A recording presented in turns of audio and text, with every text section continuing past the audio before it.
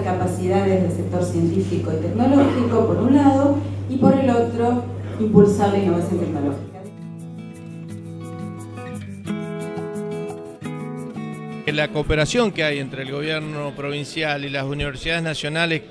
eh, que están en Entre Ríos es importantísima, es más inédita la cooperación que existe entre nosotros, eh, que, tiene, que tienen aplicaciones en, otros, en otras iniciativas, en otras acciones. Entonces estos programas que, que nacen en este caso del Ministerio de Ciencia y Tecnología, rápidamente, rápidamente podemos vincularnos y, como la relación es tan aceitada con las universidades, eh, quizás a diferencia de otros distritos, otras provincias, lo nuestro rápidamente se pone en marcha, ¿no? La universidad con su oficina de vinculación tecnológica que el Ministerio está financiando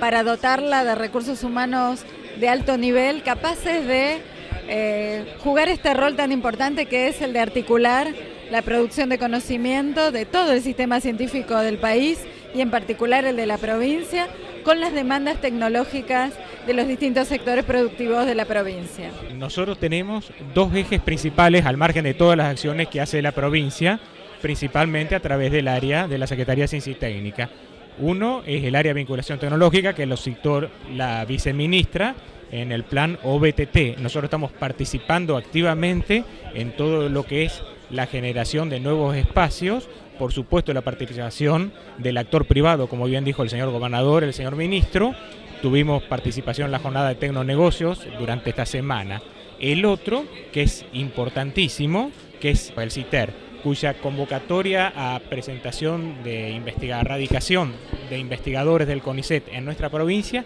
es inminente. Nosotros somos parte activa, el CITER es participantes, el CONICET y la Universidad Nacional de Entre Ríos. Y eso implica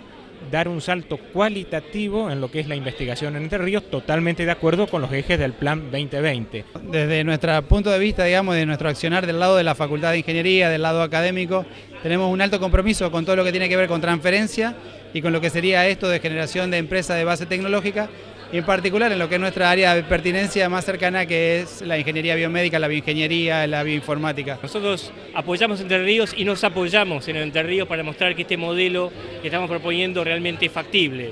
Nosotros contamos con el dinamismo, con el compromiso que tienen eh, tanto las autoridades de la provincia como el empresariado, el sector académico, para llevar adelante este cambio cultural que es tan importante no solo para la provincia sino para el país. Hay una cantidad de áreas en las que la provincia tiene eh, tanto un sector académico capaz de contribuir con conocimiento como un sector empresarial capaz de llevar esos desarrollos a la práctica. Todo lo que tiene que ver con agroindustria, con, industria, con producción de, medicamentos, con tecnología médica y ahora otras áreas como la acuicultura eh, se plantean como un horizonte muy promisorio para la provincia.